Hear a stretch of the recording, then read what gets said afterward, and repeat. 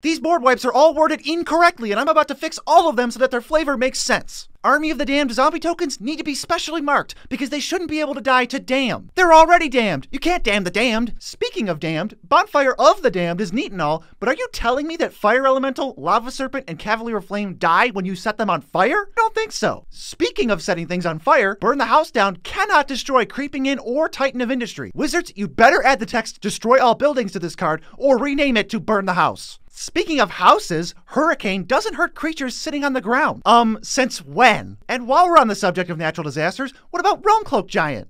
The card implies the whole battlefield exists on his back, so if he can't shake off an indestructible creature, is Ulamog technically riding on his back for the rest of the game? Or if you want to get real weird, picture multiple giants stacking on top of each other.